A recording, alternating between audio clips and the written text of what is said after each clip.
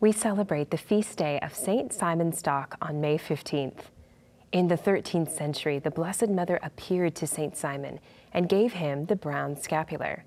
This devotion is still a very important one in the church today.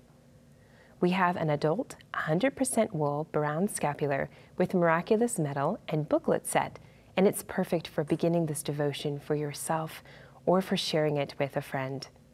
The set includes one brown scapular made entirely of wool with a miraculous medal strung onto the cord. The scapular measures 21 inches from end to end. The booklet Garment of Grace is included, and it's quite possibly the best booklet ever written on the origins and miraculous effects of the brown scapular.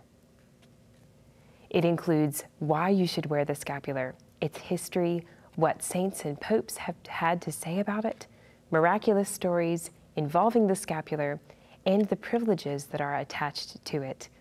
It also discusses the benefits that non Catholics can even derive from wearing this precious sacramental.